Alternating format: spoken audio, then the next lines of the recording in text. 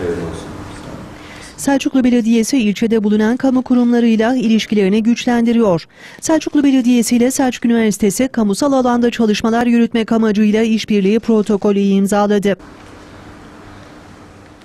Protokolde belediyecilik faaliyetlerinde akademik katkı, belediye gençlik merkezleri, uzaktan eğitim ve spor kulübü ile birlikte ders dışı etkinliklerin yürütülmesi ve sağlık, eğitim, tarih, kültür, sanat, sportif faaliyetlerin gerçekleştirilmesi hedefleniyor. Selçuklu Belediye Başkanı Ahmet Pek Yatırmacı birçok kurum ve kuruluşla farklı alanlarda işbirliğine imza attıklarını belirtti.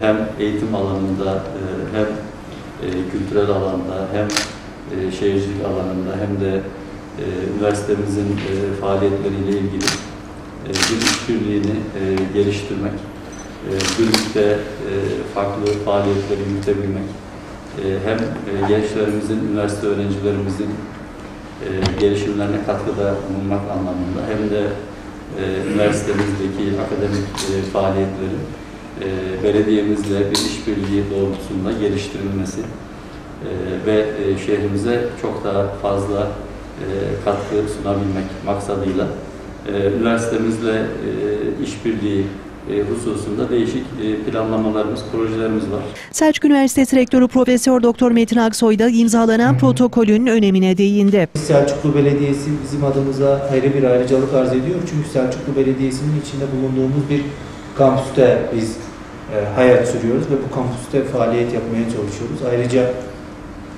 bugün itibariyle Selçuklu Belediyesi'nin belki de Konya içerisindeki en ayrıcalıklı belediyelerden bir tanesi olduğunu belirtmek isterim.